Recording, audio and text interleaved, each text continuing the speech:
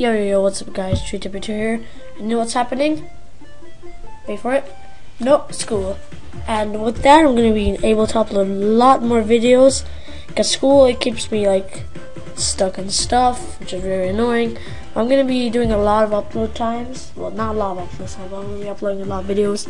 Mostly three times a day, or, like, special every day. I'm not sure, but I have a lot of games, Counter Strike, Garry's Mod, like show them all to you. Counter Strike, I'm downloading it. Cubeman, Dead Space 2, Dota 2, Dota 2 test, I guess. Garry's Mod, Portal 2, Cubeman, Team Fortress 2, and the Warhammer games. Yeah. And also, if you guys want to suggest some games, that'd be really awesome. We might be able to buy them, or you can just tell me play some of the games in here.